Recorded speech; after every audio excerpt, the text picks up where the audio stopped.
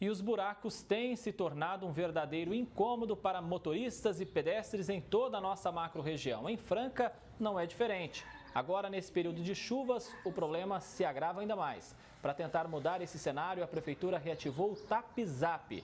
É um serviço onde a população pode indicar onde os buracos estão e solicitar o conserto. Na janela da notícia, ao vivo conosco, Fernando Lima, macro-região integrada em tempo real.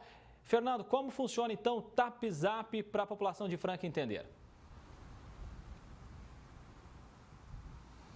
Olha só, André, é muito fácil, né? Primeiro você anota o número, que inclusive está aparecendo aqui embaixo do seu vídeo. O número ele é bem fácil, é 999 99 84 80.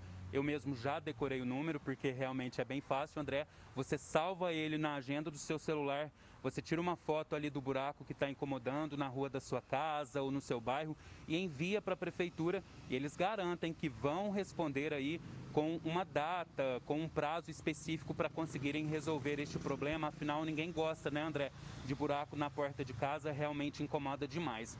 Agora, André, de acordo com a Prefeitura daqui de Franca, o contrato com a Indef, que é a empresa municipal do desenvolvimento daqui de Franca, ele é de 3 milhões de reais e isso garante esse serviço de tapa-buracos até o mês de abril. Portanto, por pelo menos mais três meses aqui em Franca, esse serviço do TAP-ZAP está garantido. Ainda segundo a Prefeitura, quatro equipes fazem esse trabalho diariamente aqui na cidade. Bairros como o Centro, o Jardim Aeroporto, que fica na zona sul daqui de Franca, o Jardim Santana, o Jardim Angela Rosa, que também fica na zona sul da cidade, e o Distrito Industrial, que já fica ali na zona oeste de Franca, eles já receberam o serviço.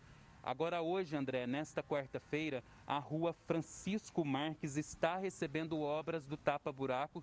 Portanto, você que está acompanhando a gente, se puder evitar usar aí a rua Francisco Marques para evitar transtornos para você.